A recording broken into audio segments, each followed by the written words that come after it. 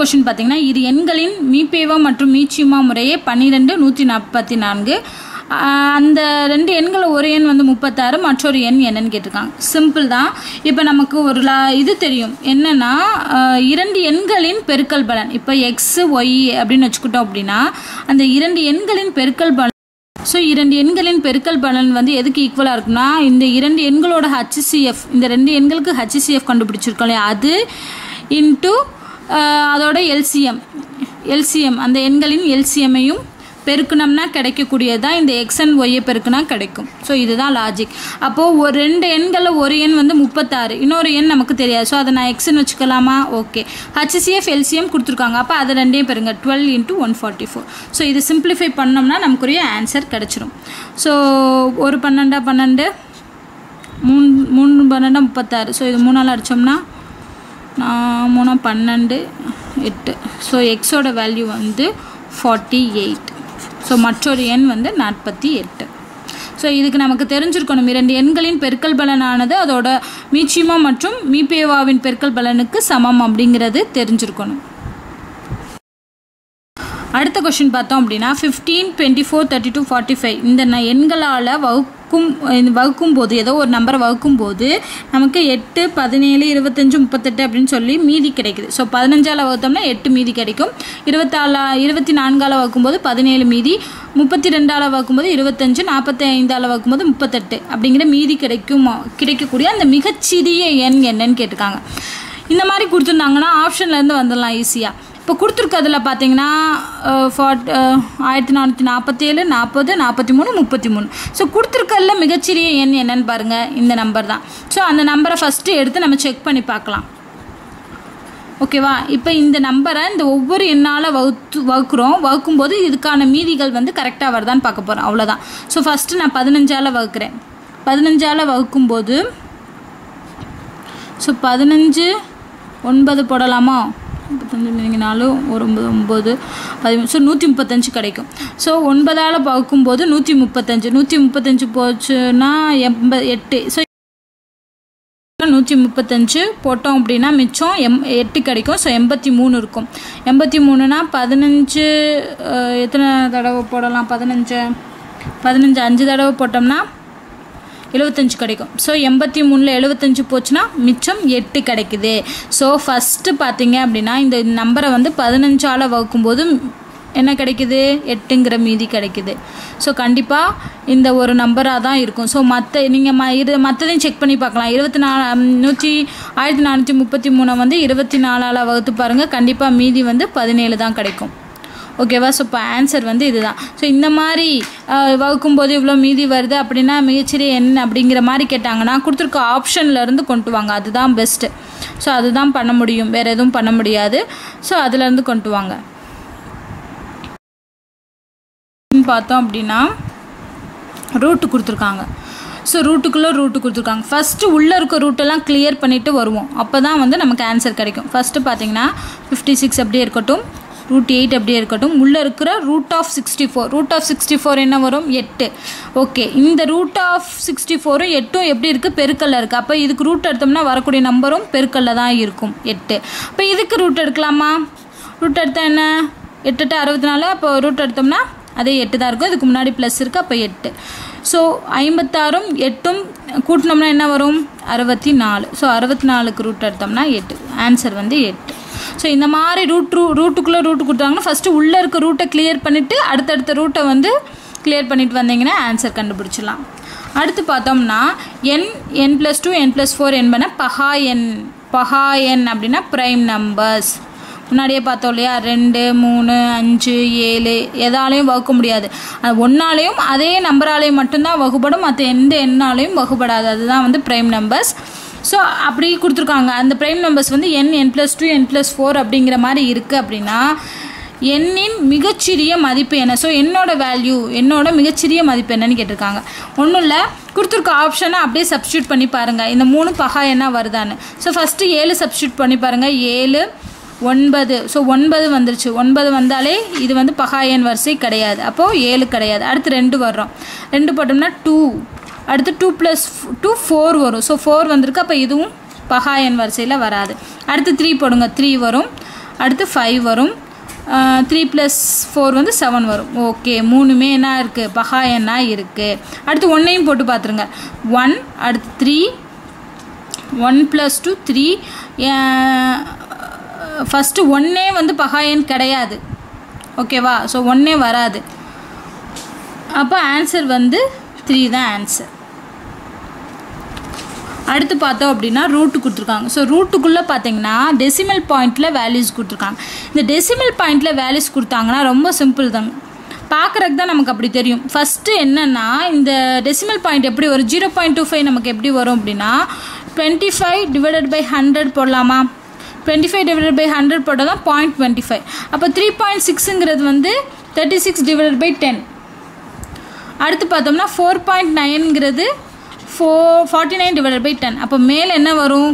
Twenty five divided by hundred வரும். அடுத்து thirty six divided by ten அடுத்து forty nine divided by ten வரும் ஓகேவா அடுத்து கீழே வருவோம். கீழே பார்த்தோம் அப்படின்னா ஒன் பாயிண்ட் ஃபோர் ஃபோர் அப்படிங்கிறது என்ன? நூற்றி நாற்பத்தி நாலு டிவைடட் பை ஹண்ட்ரட்னு அர்த்தம்.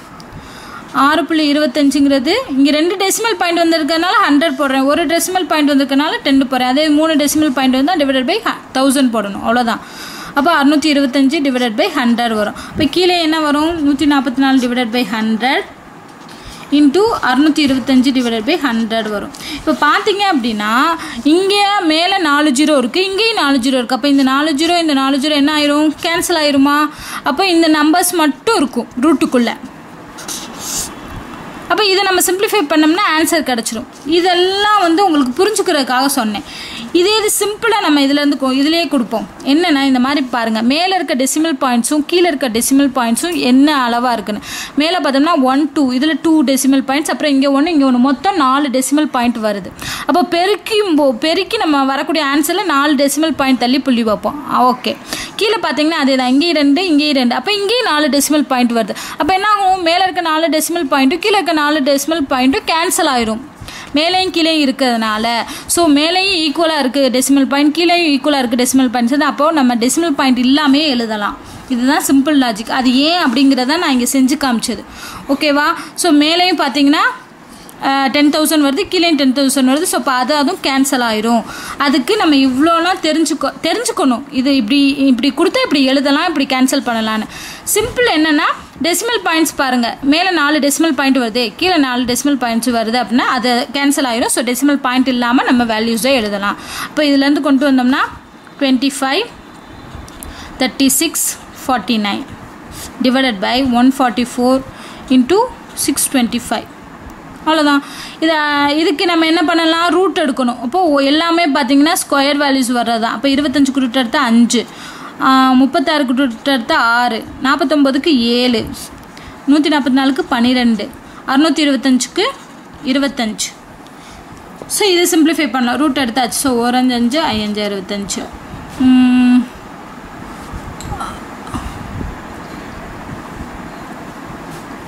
ஓராறு ஆறு. ஈராறு பன்னெண்டு. இப்போ என்ன வரும்? சிம்பிளிஃபை பண்ணோம்னா செவன் பை டென் வருமா? ஐ பத்து. அப்போது ஜீரோ பாயிண்ட் செவன் ஆன்சர் அதுதான் வந்து ஜீரோ பாயிண்ட் செவன் ஸோ இங்கே வந்து நமக்கு தெரிய வேண்டியது இதுதான். மேலே ஈக்குவலாக இருக்குது டெசிமல் பாயிண்ட்ஸ் கீழேயும் டெசிமல் பாயிண்ட்ஸ் ஈக்குவலாக இருந்துச்சுன்னா அது எல்லா டெசிமல் பாயிண்ட்ஸையும் கேன்சல் பண்ணிடலாம். அதே இது மேலே மூணு டெசிமல் பாயிண்ட் இருக்குது இப்போ மேலே மூணு டெசிமல் பாயிண்ட் இருக்குது கீழே வந்து நாலு டெசிமல் பாயிண்ட் இருக்குது அப்படின்னா இந்த மூணு டெசிமல் பாயிண்ட் மூணு டெசிமல் பாயிண்ட்ஸை கேன்சல் பண்ணிடும் அப்போ கீழே மட்டும் ஒரு டெசிமல் பாயிண்ட் போடணும். அது ஞாபகம் வச்சுக்கோங்க. இப்போ மேலே வந்து நாலு டெசிமல் பாயிண்ட் இருக்குது கீழே ரெண்டு டெசிமல் பாயிண்ட் இருக்குன்னா ரெண்டு டெசிமல் பாயிண்ட் கேன்சல் ஆகி மேலே ரெண்டு டெசிமல் பாயிண்ட் இருக்கும். ஸோ இதுதான் லாஜிக் ஸோ இதை ஞாபகம் வச்சுக்கோங்க. ஸோ இங்கே பார்த்தீங்கன்னா x x plus three x plus six x plus nine x plus twelve அப்படின்னு சொல்லி ஒரு அஞ்சு உறுப்பு கொடுத்துருக்காங்க. இதோட கூட்டு சராசரி அதாவது மீன் வேல்யூ கண்டுபிடிச்சோம்னா கிடைக்கக்கூடியது அறுபது. அப்படின்னா எக்ஸோட மதிப்பு என்ன?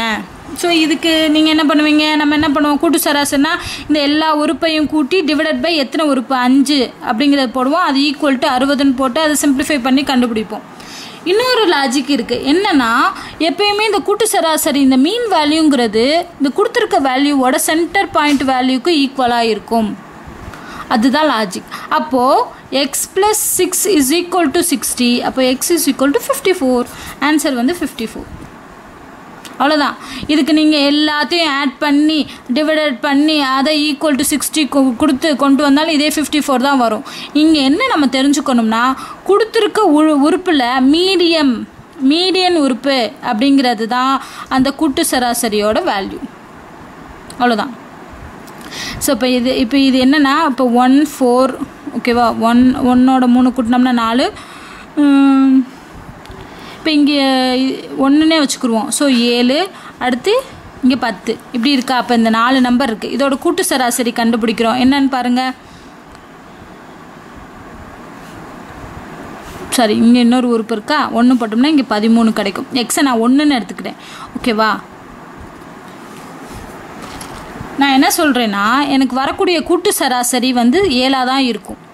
அது எப்படிங்கிறத பார்ப்போம். இப்போ இதை கூட்டி பாருங்கள் நம்ம நான் நார்மலாக என்ன செய்வோம்? எல்லா நம்பரையும் கூட்டி டிவைடட் பை அஞ்சு அஞ்சால் வகுப்போம் இல்லையா? அதே தான். ஸோ பதிமூணு ஏழு இருபது பதிமூணு ஏழு இருபது இங்கே ஒரு பத்து முப்பது முப்பத்தஞ்சு. டிவைடட் பை ஒன்று ரெண்டு மூணு நாலு அஞ்சு. ஸோ ஓரஞ்சஞ்சு ஏழஞ்சு ஐம்பது. ஸோ வரக்கூடிய ஆன்சர் கூட்டு சராசரிங்கிறது இந்த உறுப்புகளோட நடு உடுப்பு இது வந்து ஆட் நம்பர்ஸாக வருது. அதாவது ஒன்று ரெண்டு மூணு நாலு அஞ்சு. அஞ்சு வேல்யூஸ் இருக்குது அப்போ அது ஆட் நம்பராக இருந்தால் சென்டர் இருக்கணும். இதே இது ஈவன் நம்பராக இருந்துச்சு. அதாவது இப்போ அஞ்சு உறுப்பு இருக்குது இதே இது ஆறு உறுப்புகள் இருக்குதுன்னு வச்சுக்கோங்க. பதிமூணுக்கு அப்புறம் இதோ ஒரு உறுப்பு.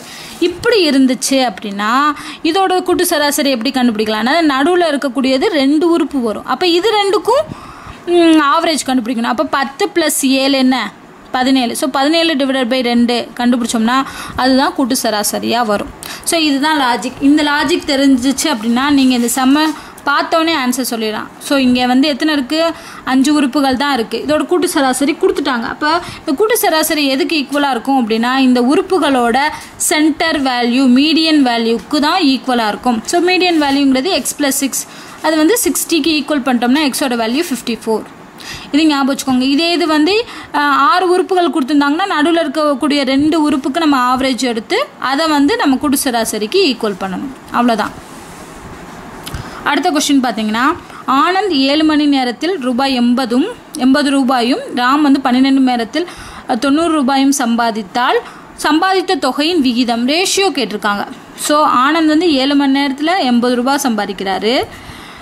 ராம் வந்து பன்னெண்டு மணி நேரத்தில் வந்து தொண்ணூறு ரூபாய் சம்பாதிக்கிறார். இங்கே கேட்டிருக்க வந்து ரேஷியோ கேட்டிருக்காங்க. ரேஷியோ எப்பயுமே கேட்டாங்கன்னா ஸோ இவங்க ரெண்டு பேரும் ஏதாவது ஒரு மணி நேரத்துக்கு நீங்கள் எவ்வளோ சம்பாரிச்சிருக்காங்க அப்படிங்கிறத கண்டுபிடிச்சி தான் நம்ம ரேஷியோ கண்டுபிடிக்க முடியும். டேரெக்டாக எயிட்டிக்கும் நைன்ட்டிக்கும் ரேஷியோ போட முடியாது. ஏன்னா அவன் ஏழு மணி நேரம் வேலை பார்க்குறான் இவன் பன்னிரெண்டு மணி நேரம் வேலை பார்க்குறான். இவங்க ரெண்டு பேர்த்துக்கு ஏதாவது ஒரு ஒற்றுமை இருக்கணும். அப்போது இவன் ஒரு மணி நேரத்தில் எவ்வளோ வேலை பார்த்துருக்கான்? அப்படின்னு பார்க்கலாம். அப்போ எண்பது டிவைடட் பை ஏழு. ஸோ வேலையில் ஒரு மணி நேரத்தில் இவனுக்கு எவ்வளோ சம்பளம் கொடுத்துருக்காங்க அப்படின்னு பார்த்தோம்னா எண்பது டிவைடட் பை ஏழு வரும். அதே இது இவனுக்கு இப்போ ஒரு மணி நேரத்தில் எவ்வளோ சம்பளம்? தொண்ணூறு டிவைடட் பை பன்னிரெண்டு. இப்போ இப்போ பார்த்தீங்கன்னா ரெண்டும் ஒரு மணி நேரத்துக்கு எவ்வளோங்கிறது கிடச்சிது. ஸோ இப்போ நம்ம ரேஷியோ கண்டுபிடிக்கலாம். எயிட்டி டிவைடட் பை செவனுக்கும் நைன்ட்டி டிவைடட் பை டுவெல்லுக்கும் ரேஷியோ கண்டுபிடிக்கலாம். ஸோ ஜீரோ ஜீரோ கேன்சல் ஆயிரும். ஜீரோ ஜீரோ கேன்சல் ஆயிரும். இங்கே என்னன்னா ரேஷியோங்கிறத வந்து இங்கே கீழே செவன் இருக்குது இங்கே டுவெல் இருக்குது இது சிம்பிளிஃபை பண்ணலாமா? மும்முனா ஒம்பது நாமுனா பன்னெண்டு. த்ரீ பை ஃபோர் இருக்குது இந்த மாதிரி இருந்துச்சுன்னா இங்கே ஃபோரை கிராஸ் மல்டிப்ளை இங்கே ஃபோரை எயிட்டால் மல்டிப்ளை பண்ணுங்கள் செவனை த்ரீயால் ஸோ எட்டுனாங்க முப்பத்தி ரெண்டு இஸ்ட்டு ஏழ்மூணா இருபத்தி ஒன்று so thirty two is to twenty ஒன்னுங்கிறது தான் இங்கே ரேஷியோ ஓகேவா ரேஷியோன்னொடனே நீங்கள் டேரெக்டாக வந்து எயிட்டிக்கும் நைன்ட்டிக்கும் ரேஷியோ எடுத்து எயிட் இஸ்ட்டு நைனுன்னு கொடு போட்டுறக்கூடாது அது தப்பு. ஏன்னா ஆனந்த் வந்து ஏழு மணி நேரம் வேலை பார்த்து இவ்வளோ சம்பாதிக்கிறான். ராம் வந்து பன்னிரெண்டு மணி நேரம் வேலை பார்த்து இவ்வளோ சம்பாதிக்கிறான். ஆனால் ரேஷியோ எடுக்கும்போது ரெண்டுக்கும் காமனாக இருக்கும்போது மட்டும்தான் நம்ம ரேஷியோ எடுக்க முடியும். அப்போது இவன் வந்து ஒரு மணி நேரத்தில் எவ்வளோ சம்பாதிச்சிருப்பான்? இவன் வந்து ஒரு மணி நேரத்தில் எவ்வளோ சம்பாதிச்சிருக்கான்? அப்போ ரெண்டுமே ஒரு மணி நேரங்கிறது வந்துருச்சு. அப்போ நம்ம இப்போ இந்த புது வேல்யூக்கு நம்ம ரேஷியோ எடுத்துடலாம். ஸோ இதுதான் ஆன்சர் அடுத்து பார்த்திங்கன்னா இரண்டு எண்களின் கூடுதல் நாற்பது அந்த எண்களோட வித்தியாசம் நாலு எனில் அந்த எண்களோட விகிதம். இதுவும் ரேஷியோ தான். இரண்டு எண்கள் நமக்கு தெரியாது. எக்ஸ் அண்ட் ஒய்ன்னு வச்சுக்கலாம். சரியா? எக்ஸ் ப்ளஸ் ஒய்ங்கிறத வந்து ஃபார்ட்டி அதோட வித்தியாசம்னா x minus y is equal to four so இதை சிம்பிளிஃபை பண்ணோம்னா இது ரெண்டையும் கூட்டுங்க. டூ எக்ஸ் கிடைக்கும். இங்கே ப்ளஸ் ஒய் மைனஸ் ஒய் இருக்கனால கேன்சல் ஆகிடும் இங்கே ஃபார்ட்டி ஃபோர் இப்போ எக்ஸோட வேல்யூ டுவெண்ட்டி டூ ஓகேவா இந்த எக்ஸை தூக்கி இதில் போடுங்க இதுலையா ஒன்று x plus y is equal to ஃபார்ட்டியில் எக்ஸோட வேல்யூ போட்டோம்னா twenty two plus y is equal to forty so y is equal to forty minus twenty two so என்ன வரும்? ஃபார்ட்டியில் டுவெண்ட்டி டூ போச்சுன்னா எட்டு பதினெட்டு. ஓகேவா? அப்போ இது ரெண்டுக்கும் ரேஷியோ எடுத்தோம்னா இருபத்தி ரெண்டுக்கும் பதினெட்டுக்கும் ரேஷியோ எடுத்தோம்னா என்ன வரும்? பதினொன்று ஒன்பது வரும். ஸோ ஆன்சர் வந்து பதினொன்று ஒன்பது. இது வந்து ஒரு மெத்தடு இன்னொரு மெத்தடு என்னென்னா நல்லா ஞாபகம் வச்சுக்கோங்க. இரண்டு எண்களோட கூடுதல் வந்து நாற்பத்தொம்போது இங்கே கொடுத்துருக்கிறது என்ன கொடுத்துருக்காங்க? அந்த ரெண்டு எண்களோட ரேஷியோ தான் கொடுத்துருக்காங்க. அப்போது இந்த ரெண்டு எண்களோட ரேஷியோனா என்ன அர்த்தம்? பதினொன்று இப்போ இதான் ரைட் ஆன்சர் நான் அதிலேயே கொண்டு வரேன். இப்போ இதுதான் ரேஷியோ அப்படின்னா அந்த எண்கள் என்னவாக இருக்கும்? ஏதாவது ஒரு கா காமன் வேல்யூவால் மல்டிப்ளை பண்ணோம்னா அதுதான் அந்த எண்கள். ஓகேவா அப்போ இது ரெண்டையும் கூட்டி பாருங்கள் என்ன வருது? டுவெண்ட்டி எக்ஸு இப்போ இந்த எண்களை கூட்டும்போது டுவெண்ட்டி எக்ஸு இந்த டுவெண்ட்டி மட்டும் ஞாபகம் வச்சுக்கோங்க. ஸோ டுவெண்ட்டி மற்றதில் பாருங்களேன் பதினொன்னையும் எட்டையும் கூட்டினா பத்தொம்போது வருது. ஸோ பத்தையும் ஏழையும் கூட்டினா பதினேழு வருது. பத்தையும் ஒன்பதையும் கூட்டினா பத்தொம்போது. ஸோ இந்த பத் பதினேழோட ஏதாவது பெருக்கும்போது நாற்பது கிடைக்குமா? கிடைக்காது. பத்தொம்போதோட ஏதாவது பெருக்கும்போது நாற்பது கிடைக்குமா? கிடைக்காது. இருபதோட ஏதாவது இரண்டை பெருக்குனா மட்டும்தான் நாற்பது கிடைக்கும். அதே இது பாருங்கள் இன்னொரு கண்டிஷன் வித்தியாசம். பதினொன்றுக்கும் ஒம்போதுக்கும் வித்தியாசம் எடுத்தோம்னா என்ன வரும்? ரெண்டு. இதுக்கு இதுக்கு வித்தியாசம்னா மூணு. இதுக்கு ஒன்று இதுக்கு இதுக்கு வித்தியாசம் எடுத்தோம்னா என்ன வரும்? பதினொன்றில் எட்டு போச்சுன்னா பதினொன்றில் எட்டு போச்சுன்னா மூணு. ஸோ மூணு மூணால் பெருக்கணும். ஏதாவது பெருக்கணும்னா நாலு கிடைக்குமா? கிடைக்காது. ஸோ அப்போது இரண்டால் இரண்டை பெருக்கும் போது மட்டும்தான் நாலு கிடைக்கும். அப்போ இந்த ஆப்ஷனுக்கு மட்டும்தான் இந்த ரெண்டு கண்டிஷனும் சாட்டிஸ்ஃபை ஆகுது. ஸோ இதுக்கு நீங்கள் இந்த மெத்தட் போடலாம். இல்லை பார்த்தோன்னே ஆன்சர் கண்டுபிடிக்கணும்னா இதுதான். ஸோ இரண்டு எண்களின் கூடுதல் நாற்பது வரணும். இதை கூட்டி பாருங்கள் கூட்டி பார்த்தா எந்த ஏதாவது ஒரு நம்பரால் பெருக்கணும்னா அந்த நாற்பது கிடைக்கக்கூடிய மாதிரி வரணும். ஸோ இந்த ஆன்சருக்கு தான் வரும். ஸோ ஆன்சர் எழுதிடலாம். இல்லைன்னா இந்த மெத்தட்லேயே போட்டுக்கரலாம். அடுத்தும் ரேஷியோவில் தான் கொடுத்துருக்காங்க. இது சிம்பிள் தான். ஏ இஸ்டு பி வந்து டூ இஸ்டு த்ரீயா பி இஸ்டு சி வந்து ஃபைவ் இஸ்டு செவனா இல்லை ஏபிசி கேட்டிருக்காங்க. ஒன்றுமே இல்லை. இதுலேயும் பி இருக்குது இதுலேயும் பி இருக்குது அப்போ என்ன பண்ணணும் அப்படின்னா two is to three five is to seven so இது ரெண்டும் பி ஓகேவா இது ஏ இது சி இப்போ இந்த ரெண்டு வேல்யூ நம்ம ஒரே வேல்யூவாக கொண்டு வரணும். ஒரே வேல்யூவாக கொண்டு வரணும் என்ன பண்ணுவோம்? இந்த இந்த ரெண்டு டேமையும் ஃபைவால் மல்டிப்ளை பண்ணுவோம். இந்த ரெண்டு டேமையும் த்ரீவால் மல்டிப்ளை பண்ணுறோம் அதே தான் இந்த ரெண்டு நம்பரை மாற்றி வச்சும் மல்டிப்ளை பண்ணணும். ஸோ மல்டிப்ளை பண்ணுங்கள் இங்கே டென்னு இங்கே பதினஞ்சு வரும். இங்கே பதினஞ்சு இருபத்தொன்று வரும். மூவேல இருபத்தொன்று ஸோ அப்போ என்ன ஆகுது? பியோட வேல்யூ ரெண்டுலேயும் ஈக்குவல் ஆயிடுச்சு அப்போ மூணை சேர்த்து எழுதலாமா? Ten is to fifteen is to twenty one அப்படின்னு எழுதலாம். ஸோ அதோட ரேஷியோ இதுதான். வந்து முதல் உறுப்பு இரண்டு எனவும் ஆறாவது உறுப்பு நானூற்றி எண்பத்தாறு என்றும் அமைந்த பெருக்கு தொடரின் முதல் ஆறு உறுப்புகளின் கூடுதல். முதல் ஒரு சம்மு பார்த்தீங்கன்னா கூட்டுத்தொடரில் பார்த்தோம். இது வந்து ஜிபியில் கொடுத்துருக்காங்க. ஸோ இதில் ஃபஸ்ட்டு உறுப்பு வந்து ரெண்டு. ஆறாவது உறுப்புனா ரெண்டாவது மூணாவது நாலாவது அஞ்சாவது ஆறாவது உறுப்பு வந்து நானூற்றி எண்பத்தி ஆறு. ஓகேவா இது வந்து ஃபஸ்ட்டு உறுப்பு ஏ ஒன் இது வந்து ஏ சிக்ஸு ஓகேவா ஆறாவது உறுப்பு. கொடுத்துட்டாங்க. கொடுத்துட்டு மொத்தம் இதில் ஆறு உறுப்பு இருக்குது இந்த ஆறு உறுப்போட வேல்யூஸையும் கூட்டணும்னா என்ன வரும்னு கேட்டிருக்காங்க. நமக்கு பெருக்கு தொடர்னா நமக்கு தெரிஞ்சது என்ன? A power N is equal to A power R N minus one இப்போ ஏ பவர் என்னங்கிறது என்ன? இங்கே ஏ சிக்ஸு ஓகே ஏங்கிறது வந்து ஃபஸ்ட்டு வேல்யூ ஆறு தான் தெரியா சாரி ஆறோ ஆறு தான் தெரியாது. என்னங்கிறது மொத்தம் ஆறுன்னு தெரியும். ஸோ இந்த ஃபார்முலாவில் போட்டு ஆறோட வேல்யூ கண்டுபிடிச்சலாமா பாருங்கள் இங்கே என்னங்கிறது சிக்ஸு நமக்கு தெரியும். அப்போ இங்கே சிக்ஸு போட்டுடலாம். ஏ பவர் சிக்ஸுங்கிறது நானூற்றி எண்பத்தி ஆறு. ஏங்கிறது ஃபஸ்ட் உறுப்பு ரெண்டு.